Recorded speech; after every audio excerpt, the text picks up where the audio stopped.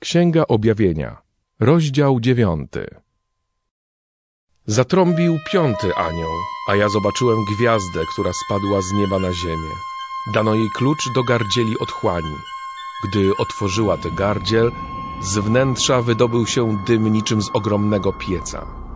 Od dymu z gardzieli zaćmiło się słońce, a powietrze zgęstniało.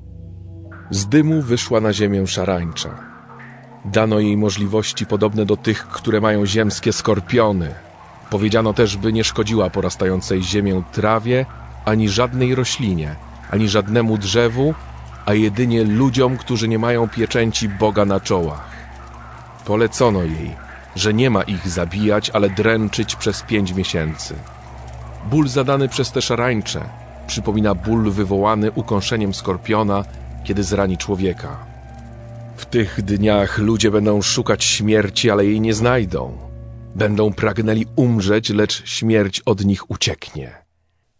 Z wyglądu szarańcza przypominała konie przygotowane do bitwy. Łby zdobiły jej wieńce jakby ze złota. Pyski wyglądały jak twarze ludzkie, grzywy przypominały włosy kobiet, a zęby kły jak u lwów. Miała też pancerze jakby żelazne, a dźwięk pracujących skrzydeł brzmiał jak odgłos wielu zaprzężonych w konie rydwanów pędzących do bitwy. Ponadto szarańcza miała ogony podobne do skorpionowych oraz żądła. Te ogony mogły wyrządzać szkodę ludziom przez okres pięciu miesięcy. Szarańczą rządził król, anioł otchłani. Po hebrajsku nazywał się on Abaddon, a po grecku Apolion. Jedno biada przeminęło, ale nadciągają jeszcze dwa. Zatrąbił szósty anioł. Wtedy usłyszałem głos jednego z czterech rogów stojącego przed Bogiem złotego ołtarza. Mówił on do szóstego anioła, który trzymał trąbę. Uwolnij czterech aniołów związanych nad wielką rzeką Eufrat. I zostali uwolnieni. Byli oni przygotowani na godzinę, dzień, miesiąc i rok, aby zabić trzecią część ludzi.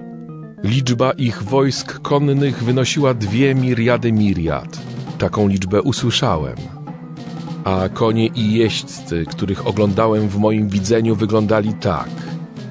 Byli uzbrojeni w pancerze ogniście czerwone, hiacyntowe i żółte. Łby koni przypominały głowy lwów, z pysków buchał im ogień, dym i siarka.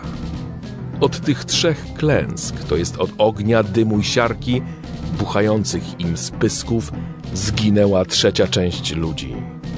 Gdyż moc tych koni tkwi w ich pyskach oraz ogonach. Ogony ich bowiem przypominały węże, miały głowy zdolne wyrządzać szkody. Jednak pozostali ludzie, ci, którzy nie zostali zabici przez wymienione klęski, nie opamiętali się. Nie zaprzestali popełniania zła, to znaczy nadal oddawali cześć demonom oraz złotym, srebrnym, miedzianym i drewnianym bożkom, które nie widzą, nie słyszą i nie chodzą. Nie opamiętali się też w swoich morderstwach, czarach, w nierządzie i złodziejstwie.